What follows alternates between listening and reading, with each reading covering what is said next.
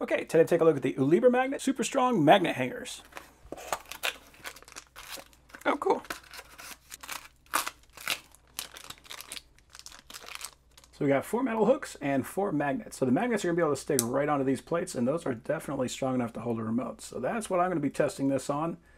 These are actually pretty darn strong. On the back of both the magnets and on the metal plates, there's this 3M adhesive, so it's going to be very strong, which I like seeing that. And then we also have some cleaning wipes, so we need to make sure that that surface is plenty clean so that the adhesive has a chance to stick. It also says that we need to stick this on and wait 24 hours to let that adhesive cure, and the importance of that is because these magnets are so strong that if you don't let that glue cure, it'll actually pull that glue right off. That's how strong these magnets are.